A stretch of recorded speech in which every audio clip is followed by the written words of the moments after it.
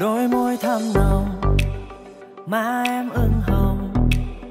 Em chưa lấy chồng thì về anh trông. Anh chưa có ai, tương lai rộng dài nếu em không ngại thì để ngày mai. Anh qua thưa ba má em cho mình làm quen. Biết đâu sớm mai thức dậy nhìn lên tiếng gọi mình ơi nghĩ thôi, cũng vui, có em là nhất rồi.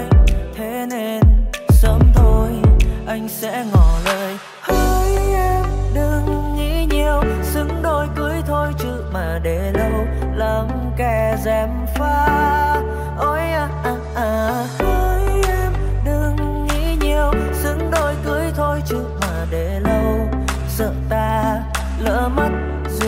chung một nhà.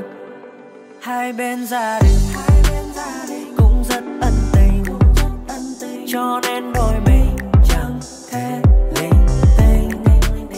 Em ơi, em à anh nghĩ chúng ta sẽ để hai nhà bàn chuyện thông ra anh qua thừa ba má em cho mình mà em biết đâu sớm mai thức dậy nhìn